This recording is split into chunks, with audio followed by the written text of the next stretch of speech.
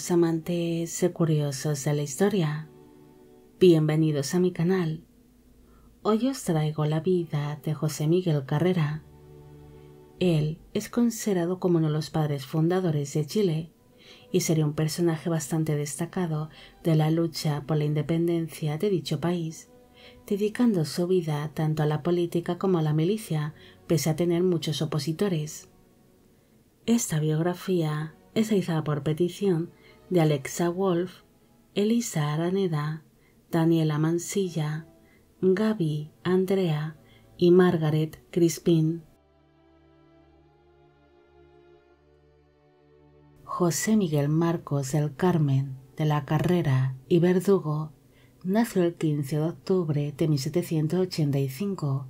en la ciudad de Santiago de Chile, en la Capitanía General de Chile.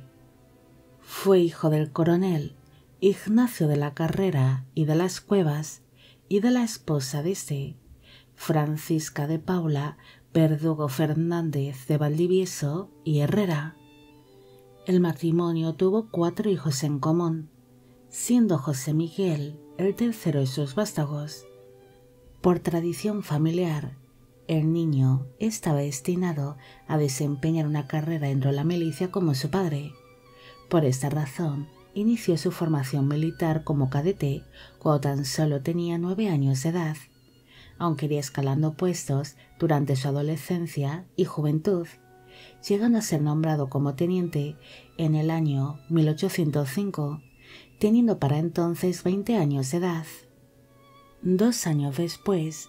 en 1807, el joven fue enviado a tierras españolas, donde recibió una mejor formación militar, además de que participó en la guerra de la independencia española, enfrentándose así contra los invasores franceses.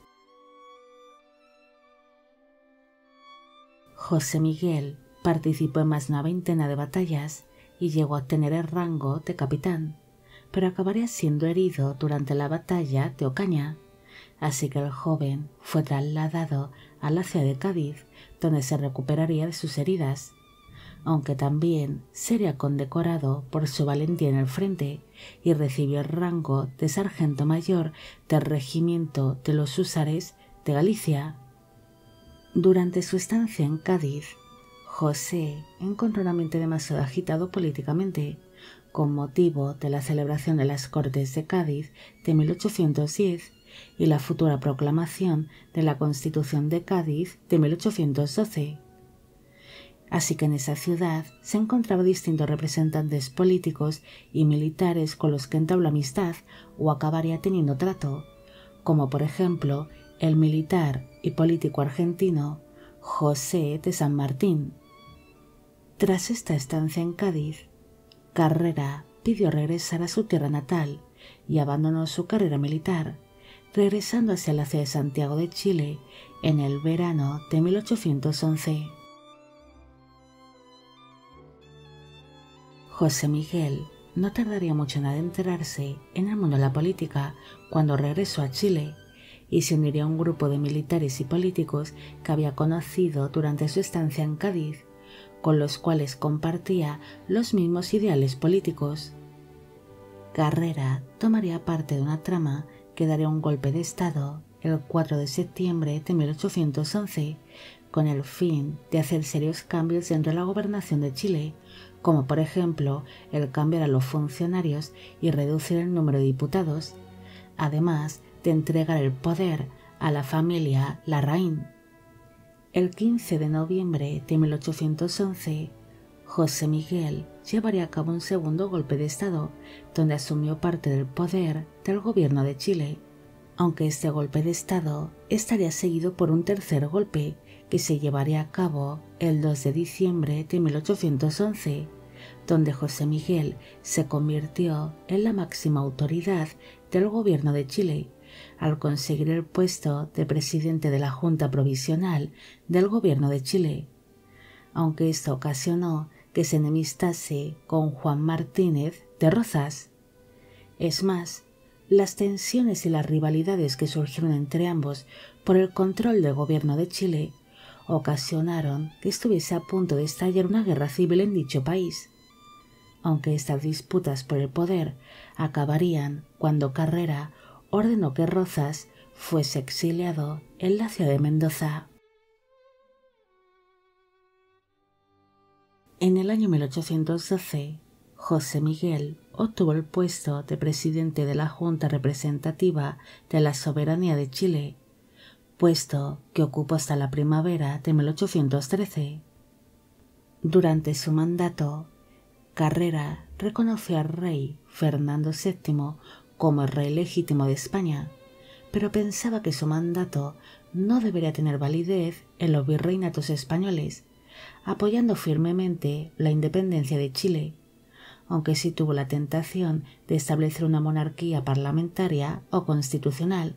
que no estuviese ligada a la corona española. José Miguel buscó la independencia total de Chile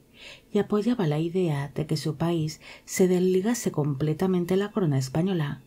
teniendo por ello un gobierno independiente y autosuficiente. Las primeras medidas de carrera al llegar al poder fue la de intentar financiar la causa independentista. Por ello, entabló una serie de relaciones diplomáticas con los Estados Unidos. También quiso fortalecer la educación que reciben los criollos fundando por ello el Instituto Nacional General José Miguel Carrera, además de la Biblioteca Nacional de Chile. Carrera también se mostró interesado en llevar la política hasta el pueblo chileno. Por ello se empezó a publicar el primer periódico de Chile, que sería conocido como La Aurora de Chile, y posteriormente se transformaría en el periódico El Monitor Araucano, aunque éste acabaría siendo clausurado en el año 1814. José Miguel no se mostraba conforme con la Constitución de Cádiz de 1812 que se aprobó en España, conocida popularmente como la PEPA, así que publicó el Reglamento Constitucional Provisorio de 1812 un texto donde se recogían distintos conceptos políticos y que poseía una notable carga independentista. Carrera también se preocupó por la formación militar de sus soldados. Por ello, fundó la Escuela de los Granaderos, donde los jóvenes chilenos recibieron una mejor formación militar, aunque esta escuela pasaría a ser conocida posteriormente como la Escuela Militar del Libertador Bernardo O'Higgins. La familia Carrera es bastante recordada por el hecho de que José Miguel, junto a su hermana Javiera, diseñaron los primeros símbolos nacionales de la bandera chilena y un escudo de armas, siendo conocida esta como la bandera de la patria vieja. Su apoyo hacia la independencia de Chile pronto trae una serie de quebraderos de cabeza a la corona española así que en la primavera de 1813 se envió una expedición española para hacer frente a la emancipación chilena, poniéndose por ello carrera al frente del ejército patriota chileno. Los enfrentamientos contra las tropas españolas dieron en un principio una serie de victorias a las tropas de carrera, pero sus hombres tenían una peor formación militar que los soldados españoles, volviéndose un ejército un tanto débil que cometía serios errores en el campo de batalla, aunque también consiguieron victorias inesperadas ante el ejército español, como por ejemplo durante la batalla del Roble.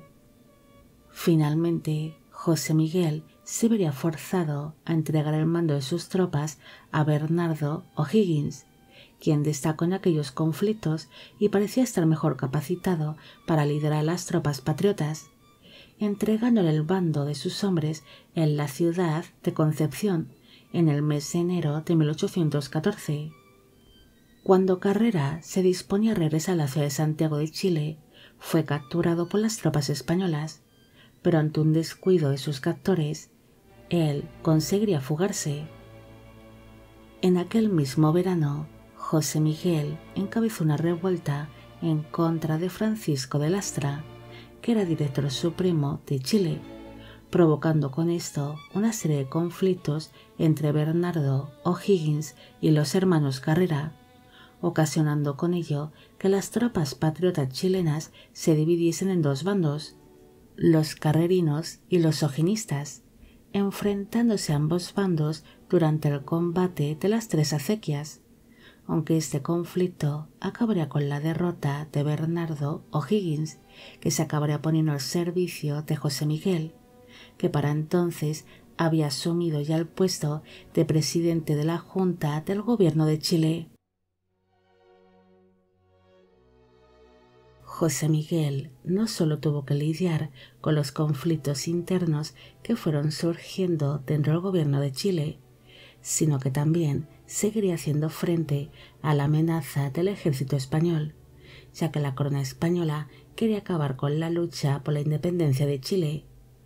Por ello, se acabaría librando entre el 1 y el 2 de octubre de 1814 la batalla de Rancagua, donde el ejército patriota acabaría siendo derrotado, debido a que les faltaban suministros para poder hacer frente a las tropas españolas que eran lideradas por el militar Mariano Osorio Pardo. El desastre de Rancagua ocasionó que la mala relación que existía entre José Miguel y Bernardo O'Higgins aumentase, debido a que Carrera no acudió a la ayuda de las tropas patriotas que se encontraban acorraladas en Rancagua. Así que la relación entre Carrera y O'Higgins se acabaría rompiendo definitivamente. Tras este gran fracaso militar, los hermanos Carrera abandonaron la ciudad de Santiago de Chile junto a sus respectivas familias y se refugiaron en la ciudad argentina de Mendoza. Para el momento de su ida, José Miguel ya se había casado unos meses antes con su esposa Mercedes Fontecilla, casándose con esta el 20 de agosto de 1814, cuando él tenía 28 años de edad y ella 15. El matrimonio llegaría a tener cinco hijos en común, aunque de entre todos ellos el más conocido sería su hijo José Miguel, que sería un reconocido político y militar chileno. Su estancia en tierras argentinas sería un tanto hostil, debido a que llegó a mantener una relación un tanto tensa con José de San Martín, que era por aquel entonces gobernador de la región de Cuyo. Aparte de que los hermanos Carrera se habían vuelto muy impopulares tras el desastre de Rancagua, y José Miguel fue acusado de haber traicionado a su país. Por esta razón, él y su hermano Juan José fueron llevados hasta la ciudad de Buenos Aires, donde se encontraba su hermano Luis, quien permanecía encarcelado por haber matado a un militar llamado Juan Maquena durante un duelo. Mientras José de San Martín y Bernardo Higgins establecieron una buena alianza, los hermanos Carrera se encontraban prácticamente desamparados, aunque durante su estancia en la ciudad de Buenos Aires, José se reencontró con el político y militar argentino Carlos María Alvear, al cual había conocido durante su estancia en la ciudad española de Cádiz, además de que ambos formaban parte de la misma logia masónica, conocida como los Caballeros Racionales. Gracias a su amistad con Carlos María Alvear, logró que su hermano Luis fuese puesto en libertad, pero José Miguel no logró obtener el apoyo necesario en Argentina para alcanzar sus propósitos y ser nombrado de nuevo como presidente de la Junta del Gobierno de Chile, ya que se ganaría muchos opositores. Ante la falta de apoyos y de aliados en Argentina, Carrera quiso probar suerte en los Estados Unidos, donde se encontraban algunas de sus amistades y antiguos apoyos. Gracias a su amigo Joel Roberts Poinsett, José Miguel logró reunirse con el presidente de los Estados Unidos, James Madison, pero este apenas le prestaría atención debido a que se encontraba inmerso en una serie de negociaciones con España. Durante su estancia en la ciudad de Nueva York, Carrera llegó a ser aceptado en la logia masónica de San Juan, donde conseguiría tener importantes contactos, además de entablar alguna que otra amistad interesante que le apoyarían económicamente en su intento de recuperar la gobernación de Chile y en su lucha por la independencia. Tras pasar un año en los Estados Unidos, José Miguel regresó a Argentina junto a una pequeña flota formada por cinco navíos que irían cargados de armamento y de soldados. Pero para entonces el militar José de San Martín había movilizado a su ejército del norte y se encontraba atravesando la cordillera de los Andes. Pero Carrera se negó a poner a su flota al servicio de San Martín, y ante esta rebeldía él acabaría siendo encarcelado dentro de su propio barco por orden del director supremo de las Provincias Unidas del Río de la Plata, Juan Martín de Pueyrredón. José Miguel logró escapar de su encarcelamiento el 18 de abril de 1817 gracias a la ayuda de algunos de sus partidarios, huyendo hacia a bordo de un barco portugués que le llevó hasta la ciudad uruguaya de Montevideo, lugar donde se le unirían algunos de sus partidarios, aunque para entonces su reputación como político estaba bastante dañada así que escribiría varios manifiestos con el que intentó recuperar su honor perdido. Mientras todo esto iba pasando, sus hermanos iniciaron una famosa conspiración en 1817, donde tenían planeado dar un nuevo golpe de Estado para así retomar el poder de Chile.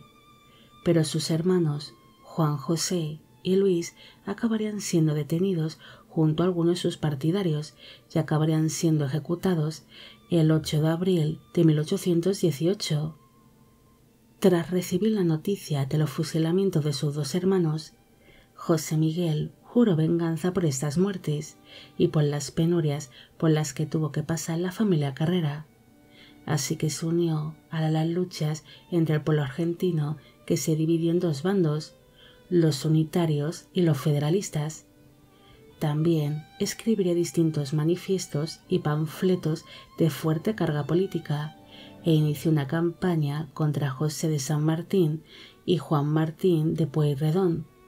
donde les acusaba de intentar establecer una monarquía en Argentina. José Miguel acabaría siendo expulsado de Montevideo ante las campañas políticas que estaba librando así que regresó a tierras argentinas, donde uniría fuerzas con distintos caudillos argentinos que luchaban contra los unitarios, librándose en el año 1820 la batalla de Cepeda, donde el bando federalista obtuvo una gran victoria. Tras esto, Carrera atacó varias veces Buenos Aires, y en la segunda toma de dicha ciudad se le ofreció el puesto de gobernador de Buenos Aires pero él acabará rechazando tal puesto y se lo cedió a Manuel de Serratea. José Miguel cada día tenía menos aliados y se encontraba rodeado de sus numerosos enemigos, así que finalmente decidió cruzar la cordillera de los Andes junto a sus hombres para poder regresar a Chile, aunque para entonces tan solo contaba con un pequeño grupo armado de unos 500 hombres, que estaba formado por sus partidarios e indígenas que se unieron a su causa, además de que estos le llamaban Pichirrey, que significa pequeño rey. Mientras avanzaba poco a poco hacia la cordillera de los Andes, José Miguel iría entablando alianzas con los líderes indígenas de la provincia de Buenos Aires para que estos atacasen distintas poblaciones argentinas, como por ejemplo la ciudad de Salto.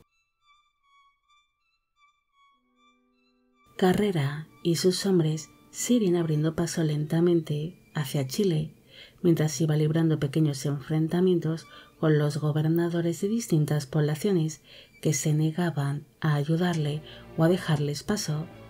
hasta que finalmente fue derrotado en la localidad argentina de Punta del Médano